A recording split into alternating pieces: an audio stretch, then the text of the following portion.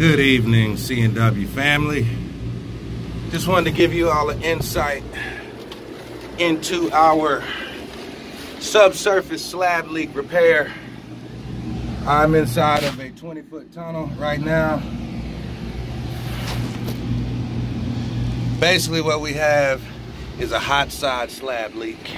It's extremely hot in here.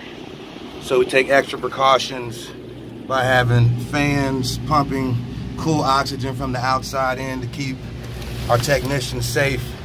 And also we bring secondary fans in. Safety first here at C&W. Basically, we had a hot side slab leak coming here on one of the main three quarter lines in the home. So we would have attempted to chip this out. This is what we call the foundation beam. So this is when we always say we might have to chip into the beam. This is what we mean about the beam. This is very thick and solid concrete.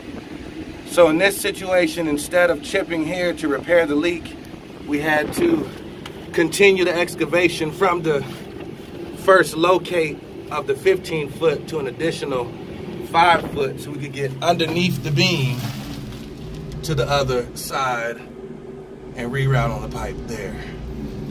So I will take this new piece of three quarter copper, attach here, up under the foundation beam to the new piece.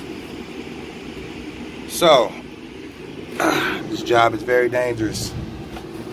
Just hopefully this helps give you a good understanding of what we have to do when you don't want to do a penetration through your floor or a reroute in a single story home, what we have to do for you. So once again, 20 foot tunnel,